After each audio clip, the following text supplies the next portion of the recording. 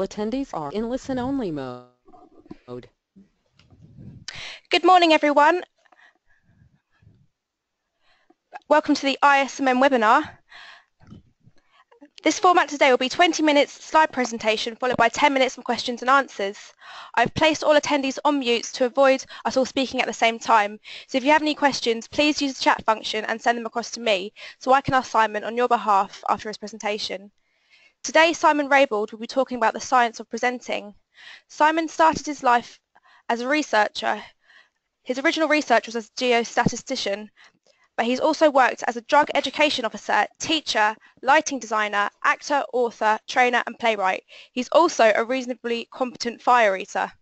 It's with great pleasure that I'm introducing you to our host today, Simon Raybould. Hi, good morning. I do like that line about a reasonably competent fire eater on the grounds that all fire eaters are competent. They're either, they're either competent or they're dead. There's, there's no middle ground for fire eating. So Welcome, good morning. Hello, I'm going to scuttle through some stuff about presentations and then take any and all questions, so we'll see we'll see how it goes. Hopefully you can see the, the slides on the screens and hopefully you've got an idea of what it is we're talking about. I'm going to be drawing upon 400 research papers that we ploughed through for uh, my last book called Presentation Genius. Uh, but before I do that, I just wanted to give you two items of faith. It seems really strange to start as a scientist and uh, you know, talk about articles of faith. But here we go. I've got the first one here is, oh, there's me in the corner, presentations aren't about something, they're to do something. And there's a corollary to that, which is that presentations are supposed to change the world. Okay, so as far as I'm concerned, presentations are either to cover your backside or to do something. And the second article of faith is this one. In order for people to do something, they need to understand you. And that means that you don't just tell them what you know, you don't just throw a fire hose of information at them. You provide the information they need, and you provide it in the way they need to know it. Okay, so those are my two articles of faith. Everything I'm going to start now is based upon science, and until I tell you differently in the questions. So, let's go back to the 1980s, where a guy called John Sweller started to look at things like something called cognitive load. Cognitive load is just a, a, measure of how difficult or easy it is for people to understand what you're saying. It's at any given point in time it's fixed and it splits into three bits. And those bits are, you can see the labels coming up now, intrinsic, extrinsic, germane.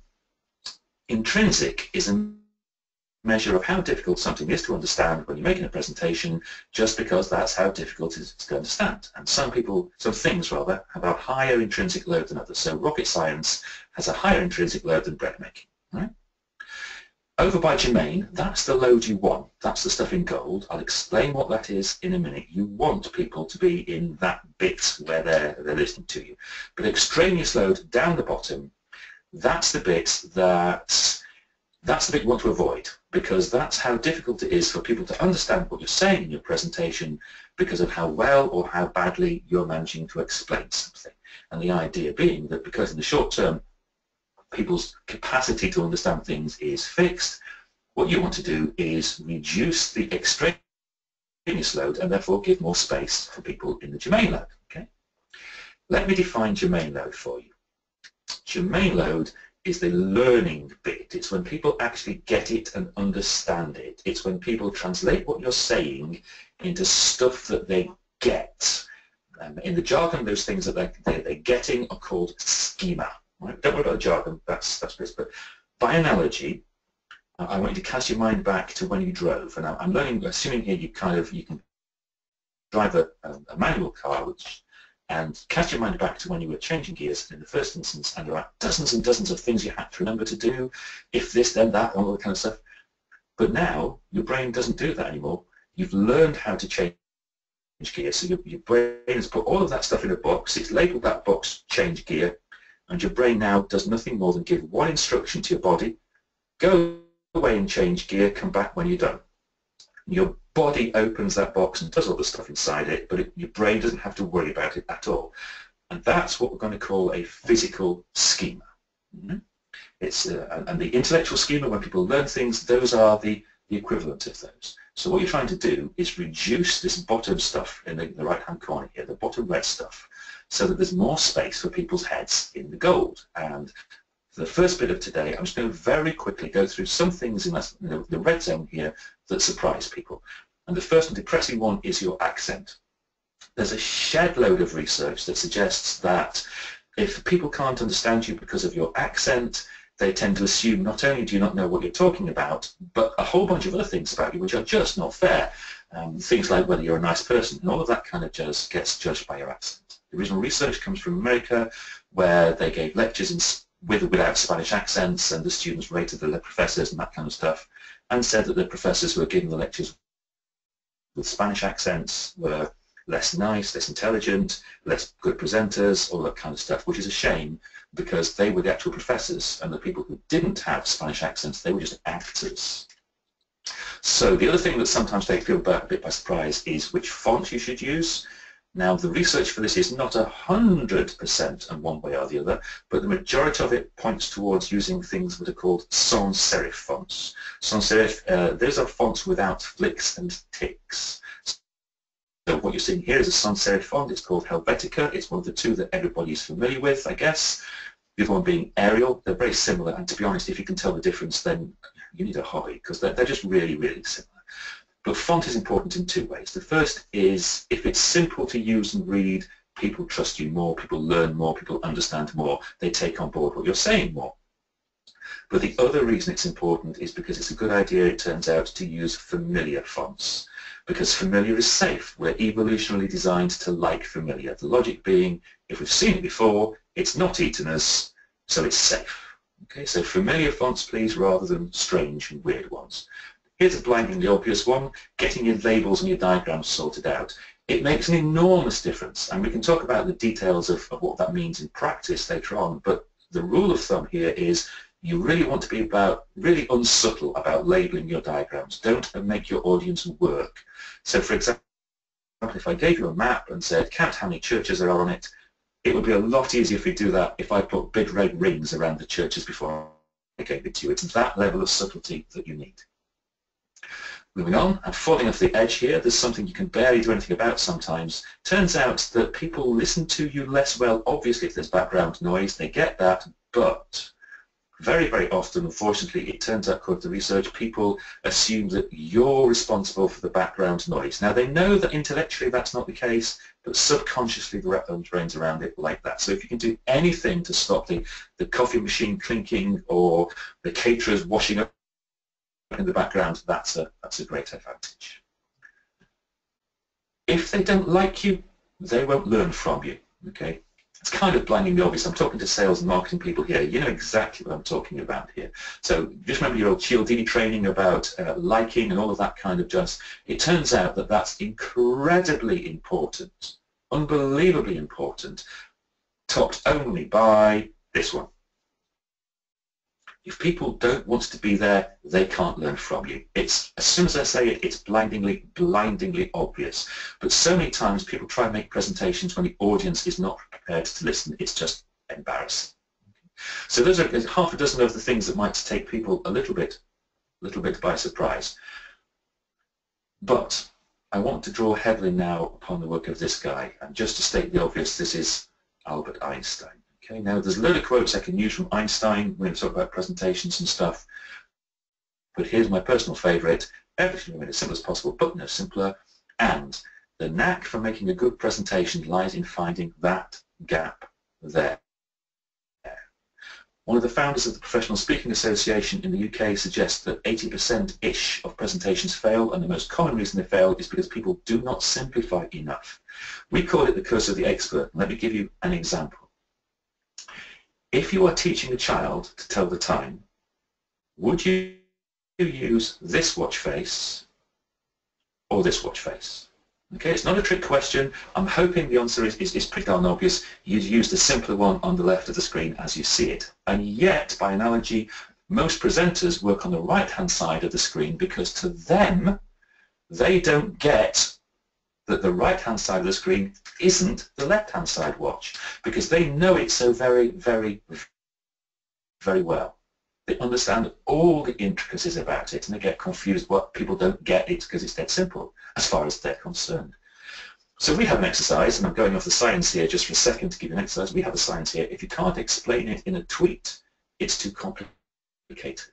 It's just a discipline, it's just an exercise. I'm not suggesting you literally do it, but just something to hold in the back of your head. Okay, back to science. Looking now at things that do and don't work a little bit more. Well, one of the things we know that doesn't work uh, are bullet points, traditional bullet point presentations. Now the research on this varies a little bit, but a lot of the research suggests that if you give a 20-minute traditional bullet point presentation, and then 10 minutes Q&A, which is kind of the equivalent of what I'm doing today, and then you give people tea, coffee and cake for half an hour, and you ask them questions about what you've told them in the presentation, on average, they only remember 10% of what you've told them. Right? And if you ask the same people the same questions just an hour later, and oh, this is so depressing, it's unbelievable. On average, they only remember 10% of the original 10%, which means that you're talking about something which is 1% efficient. And for those of you who are selling engineering stuff, can you imagine going to a client, opening a box and going, look, buy my stuff. It is 99% inefficient. You just, you just wouldn't do it. Okay, so we, we, need a, we need a different way. We now know something that works an awful lot better than bullet points. And to illustrate it, I'm going to go back to Einstein and give you that same information in a different way. So this is Albert as he comes out, calling him Albert like I know him really. And this Albert as he comes out of a presentation of mine. This is how much he thinks he knows. And after only 24, uh, sorry, after only 30 minutes, this is what he actually remembers. And after 24 hours later, this is all that he can remember. Now, it's not a blank screen, trust me, there is something on there, but I kind of hope that by doing that as an illustration, you realize that there are different ways of presenting the same information. And one of the best ways I've, I've come across of doing, doing that is something called the pie model. And I don't mean pie as in the pie chart that I've just illustrated things on earlier on. I mean this model, the physical, intellectual, and emotional model. Okay, You can see why it's called pie, P-I-E. Turns out, you probably know this already, that people don't change their behaviors based upon intellectual information at all. They only do that if you get them past that red line there. It's called the action barrier if you get them down to the emotional level of communication. And there's a really silly example I'm going to give you here. I'm in the UK. It must be impossible in the UK to have grown up and not know that smoking is a bad idea. It's expensive, dangerous, it's probably going to kill you. It's certainly going to make you it's certainly going to make you ill. And yet, about a quarter of the population smoke, which is pretty scary. It's impossible for them physically not to have heard the message. They've seen the signs, they've seen the adverts, but that physical communication hasn't been sufficient. In their heads, they know smoking is bad for them. They know it is dangerous. They can quote the statistics, but that intellectual argument hasn't made any difference to them.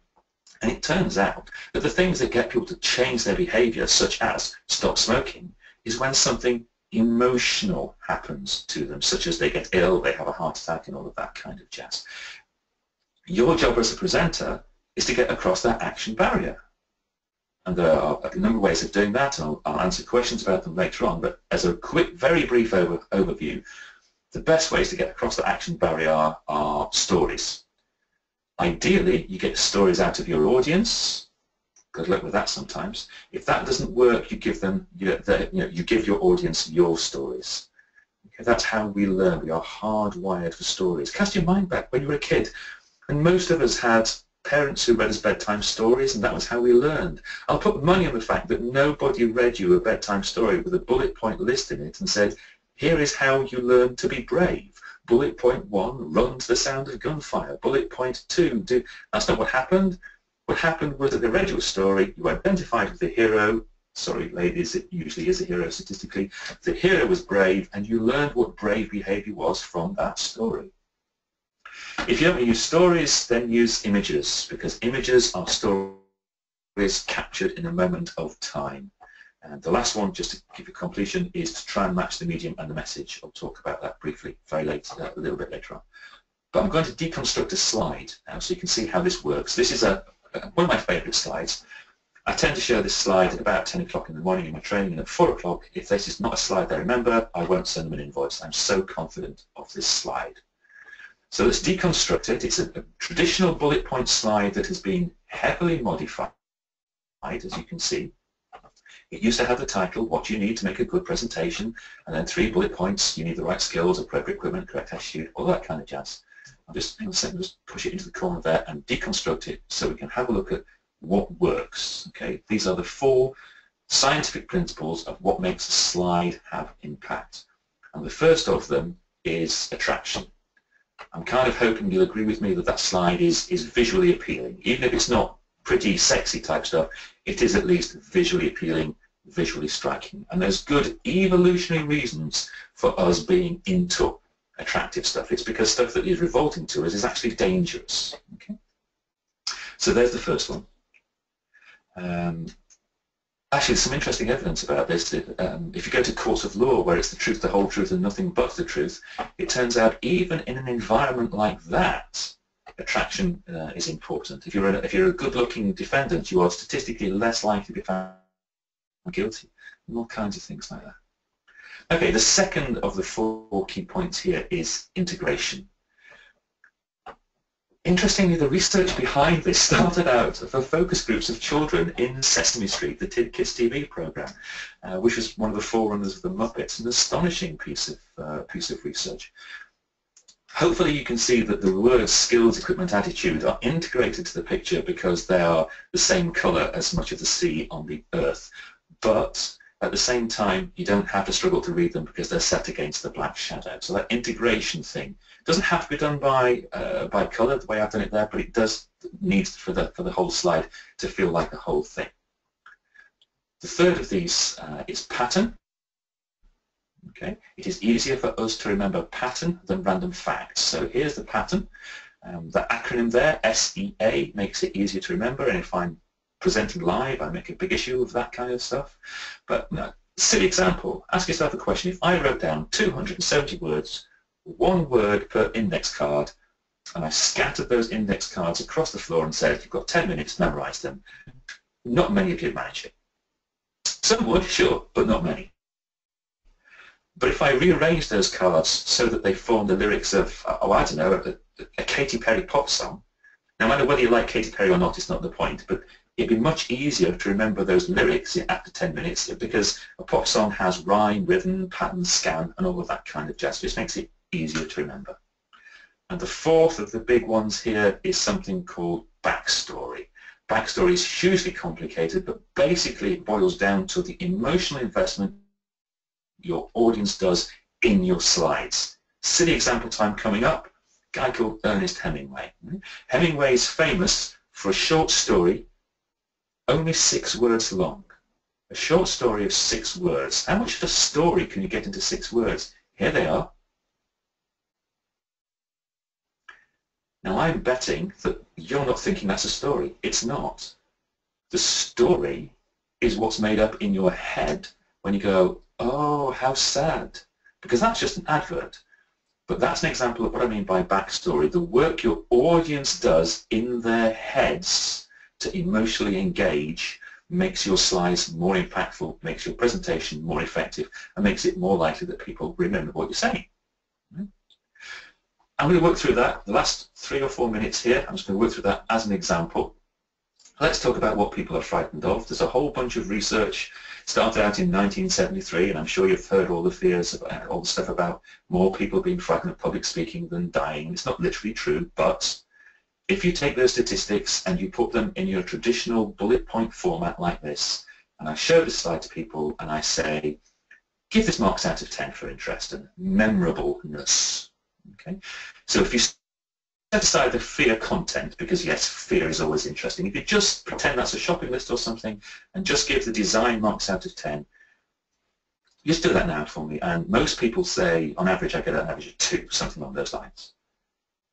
I can double it to 4, usually, just by changing the color scheme. So remember I said that one way of, of getting across that action barrier to change things was to match the medium and the message. And because this is about fear, I've just tipped it onto white on black rather than black on white.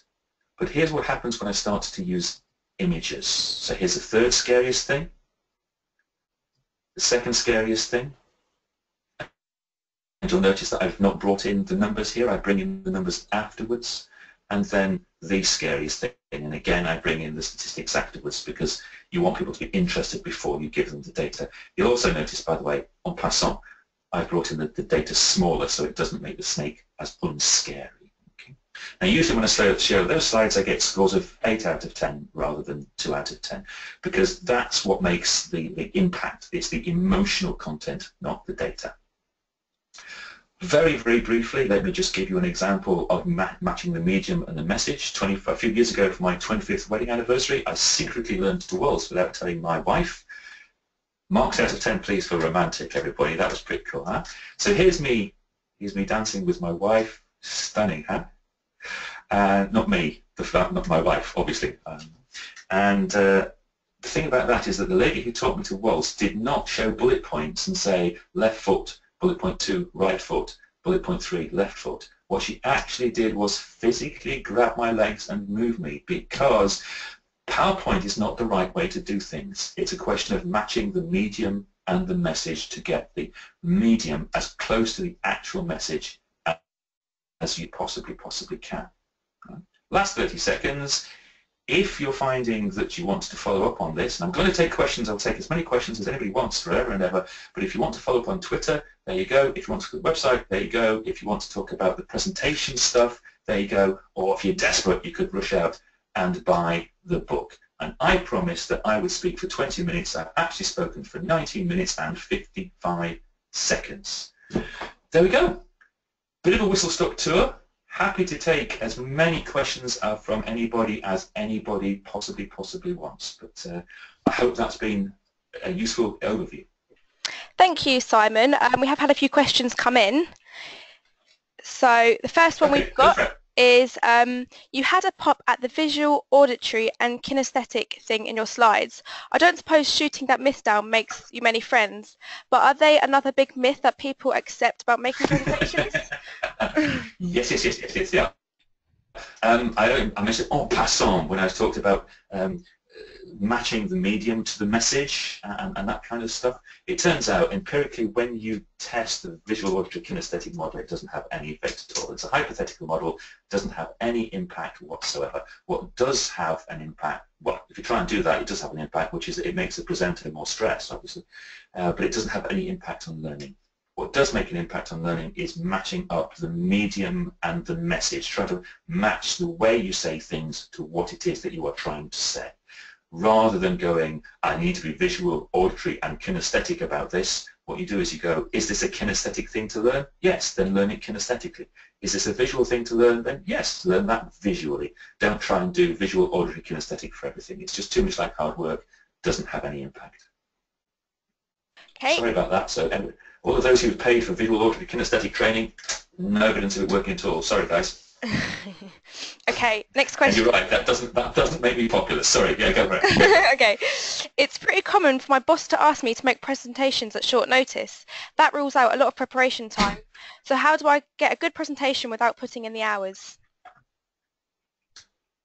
Uh, yeah. That's a really tricky one. Firstly, you try and get yourself a more reasonable boss um, and try and avoid it any rehearsal you can do is going to be a good thing. And my experience of that kind of boss is that they tend to provide you with a shed load of overload of information.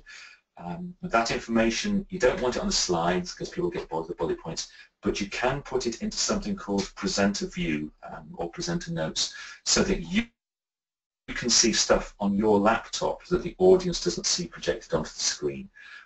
So even if you don't have time to prepare and rehearse, you can at least have notes which are you know, they're available and visible to you, even if they're not available and visible to the audience. It's a dirty trick, but I found it incredibly handy. There are other things, but that's that. Yeah, probably that's the main one. Try and rehearse if you can. Try and talk your way out of it if you can. If you can't, then um, go for presenter viewing and hide your notes on your laptop. Great, thank you. Okay, our next question. What's the worst presentation mistakes people make? um, throwing a, a, a, power hose of information at people, just like I've just done. I've just taken 20 minutes and gone, how much information can I give people in 20 minutes? I'm not expecting people to remember that. I'm kind of hoping that they go, oh, that's interesting, and then come back with questions for those bits that are relevant.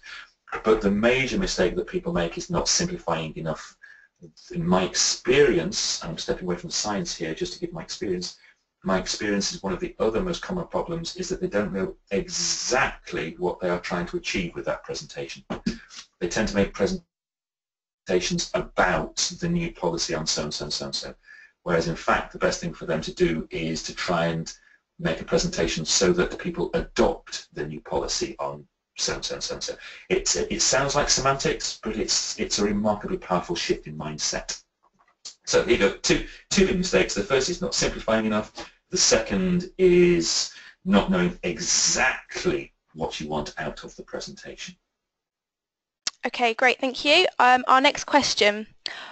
What is the best way to spice up and engage the audience and move into the emotional zone when you're presenting numerous sales figures in a presentation? um, nobody cares about the sales figures. People care about what the sales figures mean.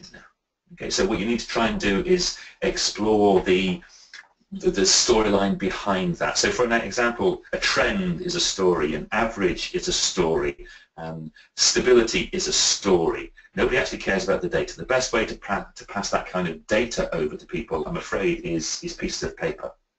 And the presentation is much more efficient, is much more appropriate for discussing what those pieces of, what the data on those pieces of paper actually mean. Okay. Now, if you can't actually manage that, the best thing to do is to provide that information visually and graphically rather than tabular form, because it's just that little bit more engaging. Uh, don't go over the top with animations, but if you can get a little bit of movement onto the screen as well, that also helps. Okay, so the key thing there, get behind the figures to what the figures actually mean. Okay, thank you. Um, Next question, how do you get over the fear? Oh, right. Um, there are lots and lots and lots of specific tools. Um, I'm, I've got a whole video YouTube channel where I discuss that kind of stuff, and if people want to watch that, that's fantastic. Um, for those techniques and, and, stuff, I would recommend you go to youtube.com presentation genius. But for now, let me just ask people this question when you learned to ride a bike, what you did was lean the bike against the wall, look at it, and go, I'm going to get on that bike when I'm feeling confident. Right? No, that's not what you did at all, is it? Right? You got on, you fell off. You got back on, you fell off again. A lot of the time people make this mistake of thinking that you get confident at making presentations and then you do them. And I'm afraid that's not how it works. You do get you get confident by doing the presentations. But just like riding a bike, you don't you know you don't stand in front of an audience of 500 in your first gig. You put stabilizers on. You make presentations, practice presentations to small and safe audiences, and gradually get more and more robust. But don't forget there are a million techniques that you can use as well. Happy to talk about those, but that big philosophical point is, is, is, is the main one, I'm afraid. Okay, thank you for that. The next question is, what is the best way to know if the audience are interested in the presentation or not? If you've decided exactly what the presentation is supposed to change, you will have a really good metric to measure the success of your presentation by looking at whether that thing that you were trying to make change actually happened. So if you're trying to get people to adopt a new policy on this or buy such and such or do so and so, you know how successful your presentation has been because you know whether they've done that or not. Um, that's the success of it. The interest bit comes a little bit from more, more from experience, I'm afraid. Don't be tempted to panic if they're not moving because that could just be that they're thinking or their body language is different from what you expect it to be, or that they are introverts, or that they are shy. The best judge I've ever found so far is for them to, is whether they ask questions at the end or not. And people often fear that kind of fear the questions, and they go, I, am terrified of the questions. I have no idea what's coming up. Um, well, yeah, that's great, but people only ask questions if they care. So questions are a good thing. The worst thing that can happen, happen at the end of presentations is tumbleweed. So the best way to find out if they were interested is if they ask you questions. Great, thank you for that. Our next question, we have a few more coming in now. Um, are pictures more important to relate to something than quantitative data? Yes. That was easy. Yeah, okay, great. Um, the best combination, the best combination I use is images to get people interested, and then provide the quantitative data once they are interested. Um, otherwise, you can do try, try, and do dirty tricks like try and combine the two. So, for example, I've got slides where I talk about um, doubling the effectiveness of attempts to give up smoking, and the number doubles from 6 to 12 as you do these certain things, and actually literally have the number 12 at a font size twice the size of, of, of the number 6. So the actual data becomes a story in itself, if you see what I mean. But by and large, you give them the emotional stuff to get them interested, and then you give them the data. Great, thank you. Okay, next question. What is the most effective time length, um, length of time for a presentation to have the greatest impact? Oh, that's a really hard one. Whoever asked that one, I don't like you anymore. And the, the answer is a piece of string. As long as it takes and no longer. And I can't answer the question specifically, and I'm ever so sorry about this because it depends entirely upon what it is that you're trying to say. Some things can be said in two minutes, so after two minutes you should shut up. Some things take two hours, so you have to schedule a two-hour meeting. I think, however, that what the question might be getting at is how long can people concentrate for? And the research evidence for that is completely up in the air. Um, different people concentrate at different times in different ways under different circumstances. There's no overall pattern. You'll hear statistics quoted such as 8 minutes of intensive concentration or 20 minutes of medium concentration. And yes, there is some evidence of that. That is the average possibly, but the standard deviation around that is so very, very wide. It's kind of I hesitate to actually give an answer to that question. I'm so sorry to whoever answered that question, whoever asked that question. There is no definitive answer. So sorry. Okay, thank you for that. Next question. Um, are you saying that you need to know your audience and their what's in it for me factor first? No, yes, that's always good because nobody comes to a presentation to watch you, do they? Unless your name is Bill Gates or something like that, nobody comes to see you. They come with a what's in it for me. Sometimes you can guess the what's in it for me, sometimes you can't. It's much, much easier if you can guess the what's in it for me. And to be honest, if you haven't made a reasonable stab at the what's in it for me, you shouldn't be doing a presentation in the first place. The what's in it for me aligns very tightly with the what is going to change. And it's the what's in it for me also aligns with that point I made earlier on about social context. If people don't want to be there, there's no point in them being there. So anything you can do in advance of the training to find out there what's in it for me, including do they actually want to be there, is always going to be a good thing. A trick I've used in the past, by the way, is to make my best guess at the what's in it for me, design two presentations do a show of hands thing near the beginning of the presentation to find out which of my best guesses is the most accurate one and actually skipped over slides if necessary. So maybe I've assumed that there are, let's pretend that there are two what's in it for me to the audience. Let's call them A and B. I start off with slides 1, 2 and 3 and at slide C, I ask, slide 3, I ask them which of the two what's in it for me are you interested. If they say slide, uh, what's in it for me A, I continue with what I've got if they say, what's in it for me, B, I skip over all the slides that talk about what's in it for me, A, and I skip slide 19 or whatever, I'm making these numbers up. The audience doesn't see me skipping over those slides, and I give them the presentation that addresses their what's in it for me as best guess. Now the downside is I've had to present, I've had to prepare two presentations effectively and put them in the same slide deck, but it does make me look so much cooler when I do that because I can address their what's in it for me much more directly. Sorry to waffle on. The short answer is yes. The longer answer is research it. And if you can't research it, guess and prepare two presentations. Thank you for that. Okay, our next question is, what are the best icebreakers? Okay, this is moving away from presenting and into training a little bit. In a literal 20-minute presentation, it's, it's very hard to fit in the time for an icebreaker.